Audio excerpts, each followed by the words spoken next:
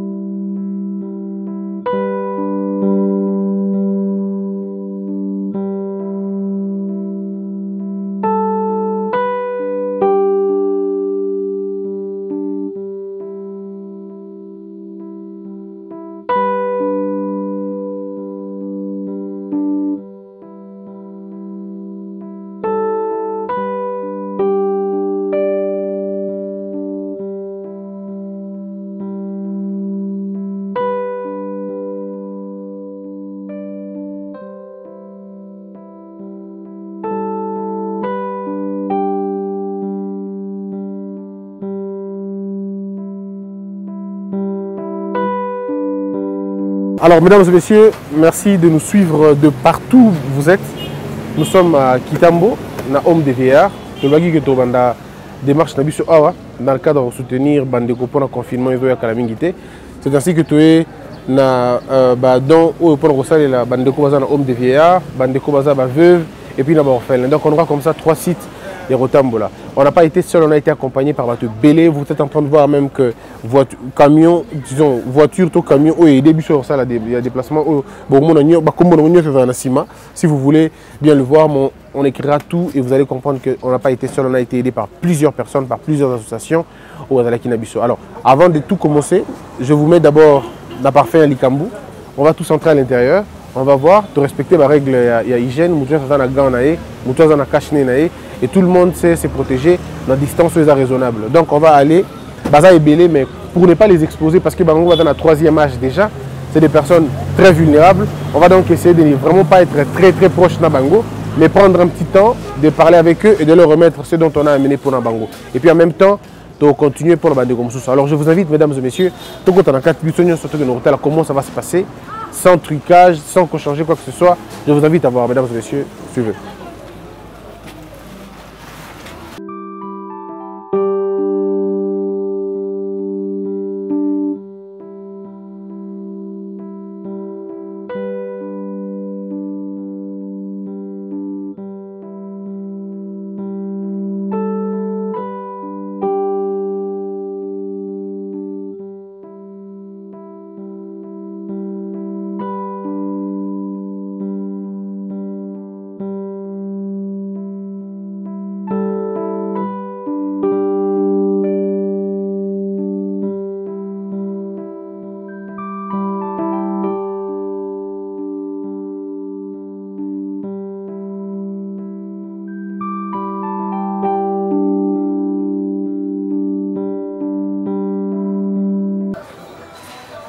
y va Bonjour. Vous allez bien Alors, comment allez-vous ici Je comprends, j'ai enlevé pour euh, parler, hein? donc vous pouvez garder le vôtre. Nous sommes à Kitambo et donc nous vous avons euh, apporté, donc euh, là j'ai transpiré parce que j'ai fait le boulot là. Alors, on vous a apporté le don ce sont des cadeaux. On n'a pas voulu exposer les, les, vieillards pour ne pas euh, montrer leur image. Voilà.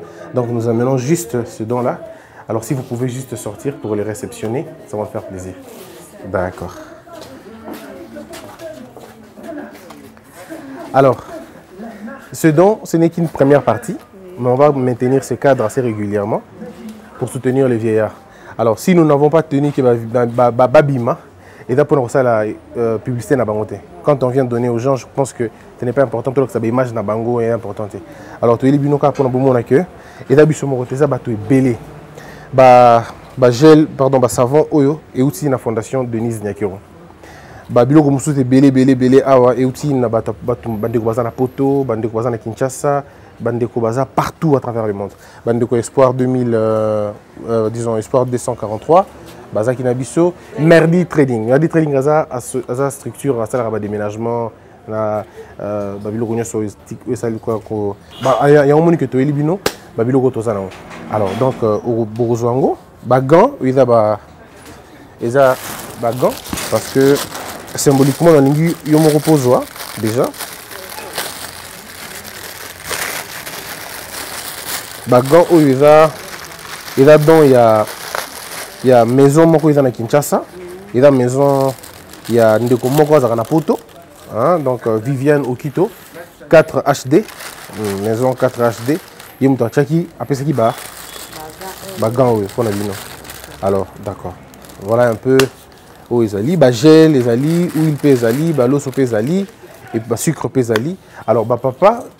baza certainement bato baza na âge avancé bango nde baza très affecté na maladi oyo voilà pourquoi il faut bameka mpe kosukola maboko komaintenir banini ya, ya, ya, ya hygiène alors ndeko monsieur feli vous pouvez avancer ye eza ong medi trading alors euh, oui merci pour la parole christian mbele euti poto Mama abeyi ngai bino soutenir Christian na kati ya mosala osala parce que ya vraiment de nécessité oyo bazobima te baza na besoin ke faut tosoutenir bango baza mito oyo ota aza bamilio osala yango nini autant mieux venir en aide à ceux qui sont vraiment dans les besoins tolukaki mpe to bino tosoutenir ye na kati ya action yango alors euh, toprofite ke awa ah toleka mikolo nyonso alors tokoyela bino bapoubelle de façon ke maison oyo maison ya biso kosala eza kolonga babele kati bandaka bato bandaka kobimisa bel gratuitement pour ma bien nos papa accompagner nos papa dans leur voilà donc baye ndenge aza wana bazwi contact na bino bapoubele na bino le temps ke bobimisaka bambongo ebele ebele esi basutu te coordinatrice je crois coordinatrice ya poubele fo ozwa numero comme ça oyo basolana bango alors oyo eza mwa enveloppe ya moke oyo eza nango eloko ya monene te mais eza kaka ekopermettre que bosala nango bowosala na ntango ekozala bien merci nzambe apambola bino ah, biso mpe tolobi merci d'accord au nom ya notre directeur cosmas lusamaki au nom ya bakoko nyonso bavieilleur nyonso basepeli makasi nzambe apambola nakanisi ekozala lisusu ya monene bacontenere ekotonda awa kala mingi te nzambe apambola bino na bandeko na biso bakanisaki oyo ya poto bango nyonso nzambe apambola bino merci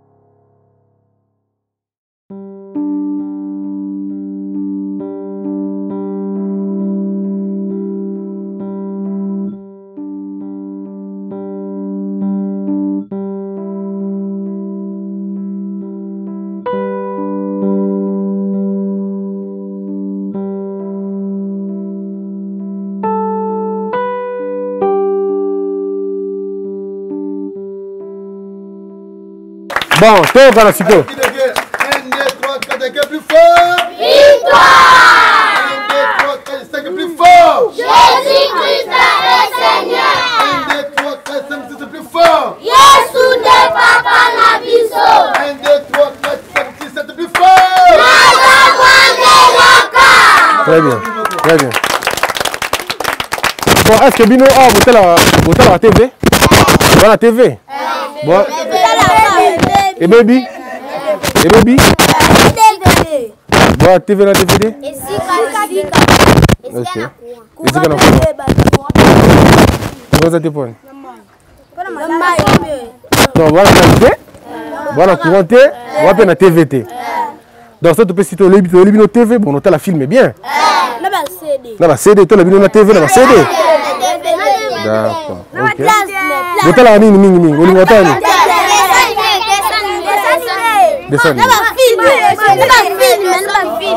très bien merci alors tofanda na biso toyeli bino babiloko bovanda kosa mpesa bino bandeko balandi bozolanda biso encore une fois toye na deuxième euh, site awa ah, toza na babenga yango cri des enfants eza orphelina moko eza mosika na, na ville ya disons na centre ville eza na commune ya selembao place toza awa sikoyo na orphelina cri des enfants alors bana nyonso ya mike omoni awa bavandaka awa c'est vrai qu'il y a parmi eux des abandonnés des orphelins tout ça alors à eux on a amené bacadeau mpe on a amené quelque chose oyo kotenir bango mpana baconfinement oyo toza nango ce qui est vrai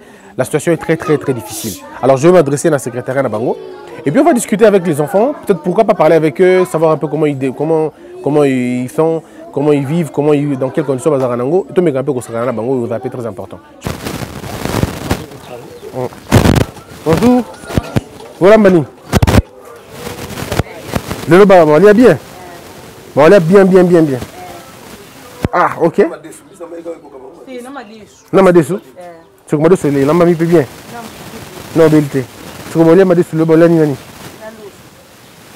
bango nyonso baolia bango nyonso bakoka babunda te sa biso tobakisaka basikre na biso mpe tolia seke toza na basikre alors magasin ok pas de problème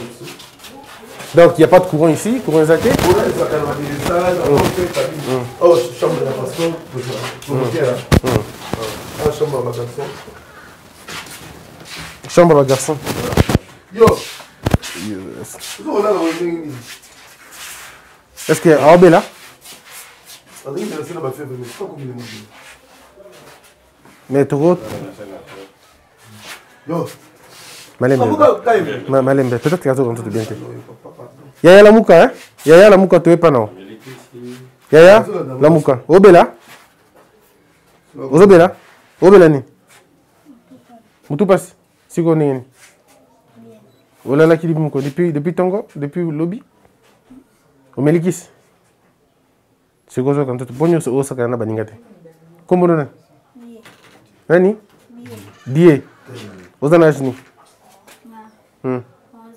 ans otangaka wapi soki na classe osalaka bien cour nini olingaka mingi na classe français soki oyebi oconjugue hmm? ezalaki mpenza biloko olingaka mingi te mais okoconsigue consigue vers bavoir kasi consigue vers bavoir otanga bon consigue vers bavoir na temps oyo olingi yo obotami kuna ah! wapi ye fina fina fina tokangi yo obotami kuna ndenge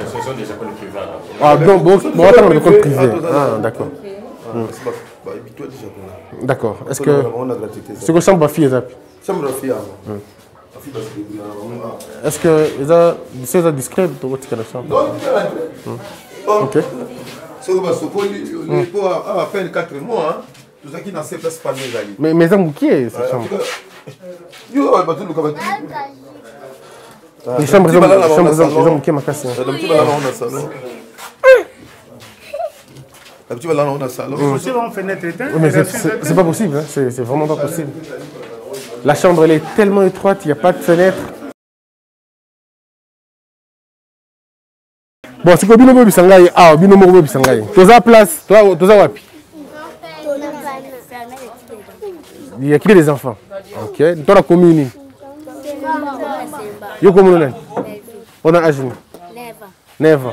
Otangaka wapi? C'est quoi? Oyebi calcul na français? OK. Chocolat zapi? Wewe na chocolat na elaki bango. Eza simple. Yebisa ngai. Kombo ya président liboso ya mboka na biso yaki nani? malembe malembe hein? bon yo esi olobi mibale hein?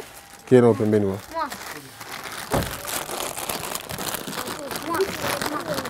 oyo eza bashokola mibale hein? po répondre na mibale mutu mutu orépondre ozwi hein?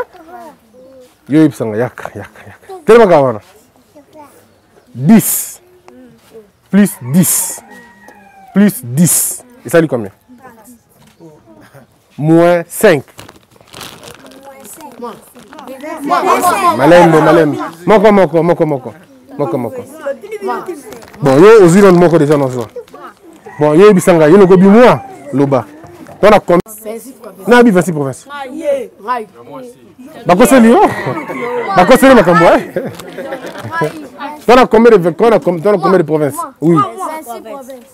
bon soki otangi ezala moko soki otangeli ngai 5 province tanga abi nini tanga 5 province 5 kaka 5 province kaka yo tanga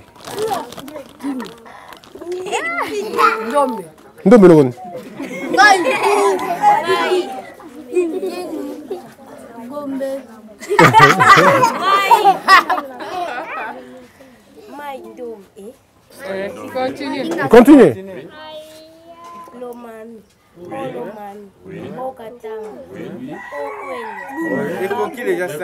Yo. Bon. To yo yaka yebisa ngai. Yebisa ngai. Oke bine ngeni yaka. Bon, ok, yebisa ngai. Ndeke na français koma nangoni. yoka mutu te yoka pigeon hein bon minu na oyo eki wapi oteka yebisa ngai mwasi na français ekombo nde nani hmm, oyeli kasi mobali le garçon bon soki oyebisa ngai na biso na lito ya moto ayoka te ye moko oyebisa ngai kaka yango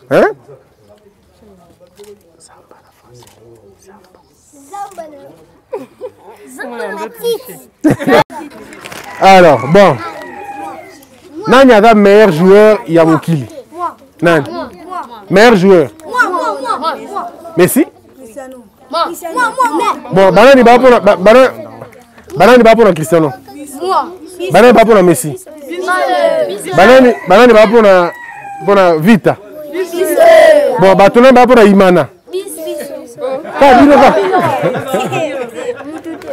bon tokabala ça peut si elongo hein les bébés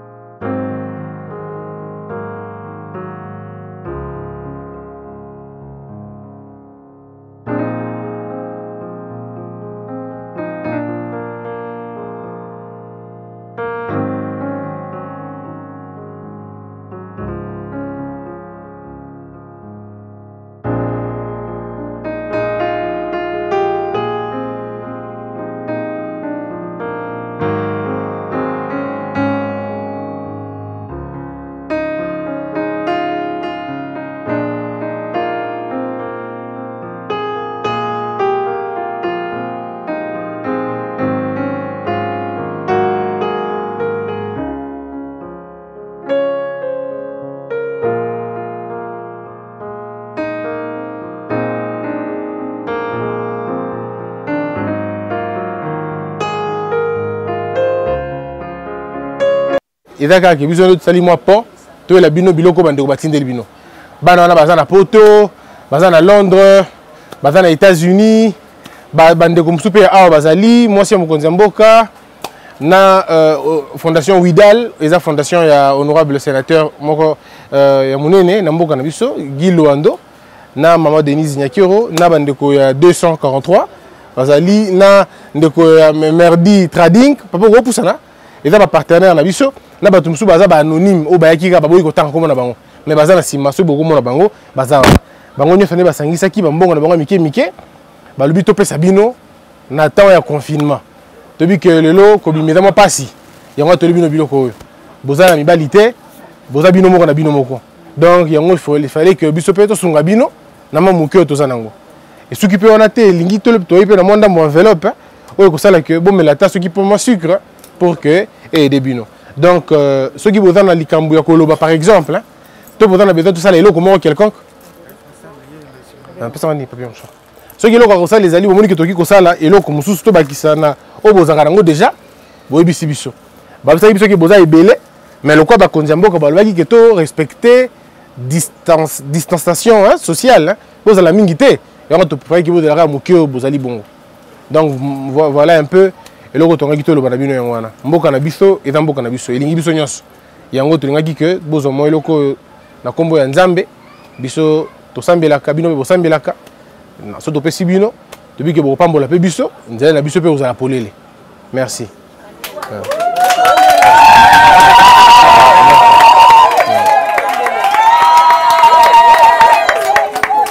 alors maman responsable boni yo nde responsable ya, ya secteur ok est ce que okobisa biso boza, boza combien awa mama okopusana moke na malili eh.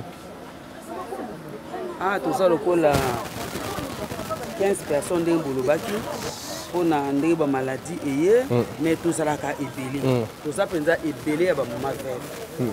soki mpenza boyemba la nsima bokuta bamama veve ebele tokoya après confinement bon toza mpenza ebele me nde ntango bino bopesi mitindo bolobi ke tozala ndambu totosi mpe na ndambo oyo bino bolobaki yango mpe toza kaka 15 perso bamave me bamisusu bazaza na bandako bafandifandi me hmm. mbala ya nsima nde bamama na bango nyonso bakoya hmm. ndenge bino bokosenga lisusu mpona kozonga epai na biso hmm. siko baproblème nini bino bozalaka nango na bamama boye baproblème nini ezali mpona mwasi oyo akufisa mobali badifficulté na ezaka nini neti mwasi akufeli mobali difficulté ezali ebele hmm. pasi ezali mobali akolesa yo azali te pasi na pasi yango wana ong na biso oyo les as de province nde yango nde esangisaka biso bamama veve mpo na kolesa biso mpo na kosunga biso mpe eza na misala ebele oyo tosalaka tosalaka mpe tosala tokombaka mpe babalabala hmm. tosalaka misala ebele na kati ya na ong na biso ok mais sikoyo soki balingi basoutenir bino par exemple il faut bapesa bino neti nini bakosoutenir bino na nini bon neti soki basoutenir biso na bamave bakosoutenir biso na kati ya ong na biso mpo na kati ya ong na biso yango nde esalaka biso bamave esungaka biso nyonso kati ya bamamave soki bino bosungi kati ya ong nsima ong mpe asungi biso bamamave hmm. po tozangi ebele toza na eloko ya kosala te mbongo ya koteka eza te mm. donc est ce que na bamama veve bato basalaka mimbongo baza bazali baza mpe awa eh, bazali bango nyonso ok bitu bubu mama bitu mama yo sikoyo osalaka nini mosala yo mombongo nini osalaka naza kotekelepa hmm. nakoteka njemba ya tutu nini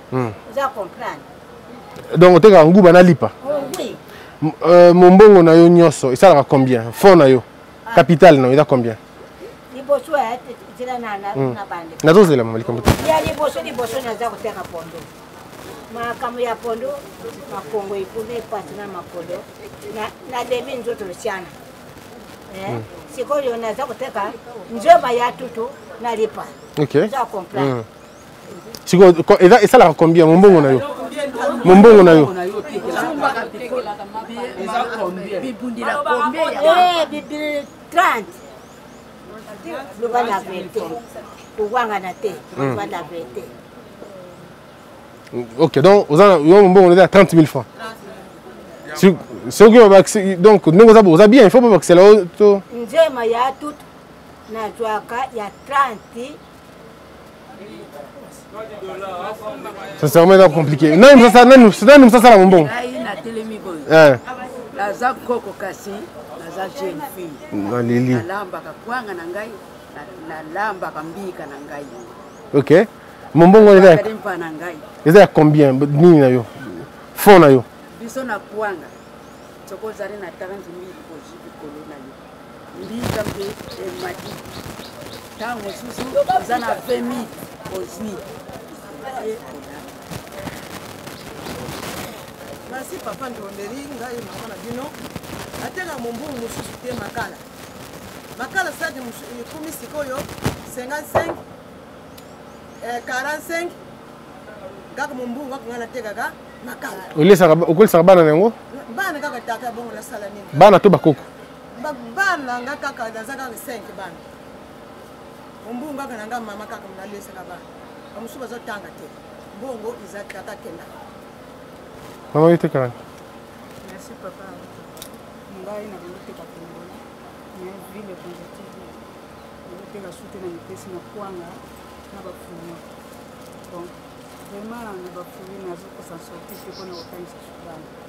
oza na bana combien 7 ya yo moko to ya bandeko mosusu hmm. ok mais qu'est ce qu'il faut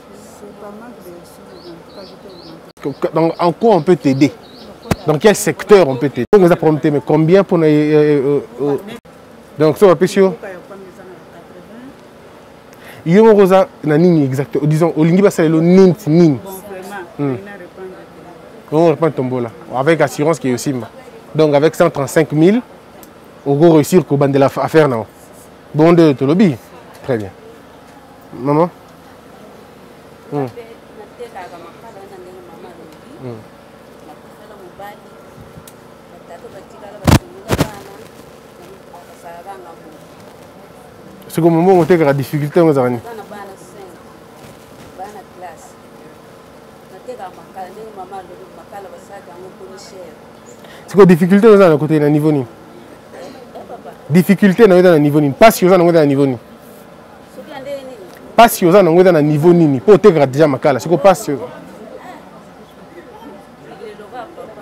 eh? il faut nini siko il faut nini mpo que o s'en sortir moke bon leta nateka makala saki ya makala ekomi 55 000 mm. donc nazokoka te hmm. parfois kotanda makala yango ezokoka nango te hmm. donc ifale ka nazonga lisusu koteka makala na ngai siko nini bakosala mpo na yo oavance moke po omoi ata 60 000 mpona kosomba saki donc yo 60 000 ah, wana nazwi saki moko ya makala obakisi ede yo oavance hmm.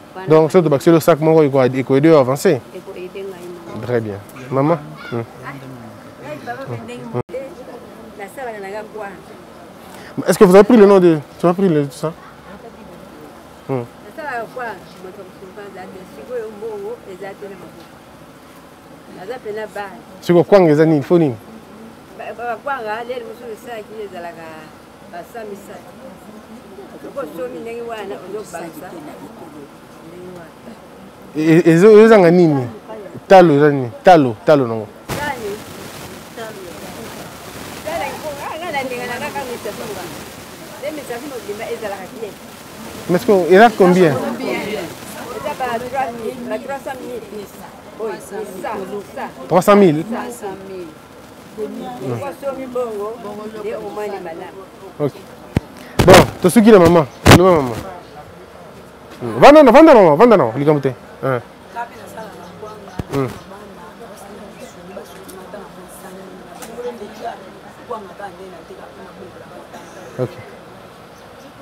tosuki na mama toza na makoki ya kosunga bato nyonso te me tokende yango maleme maleme tozwa kaka 3 personnes mpo na lelo mokolo mosusu soki toye tokozwa bato mosusu batikali a mama présidente tosala bongo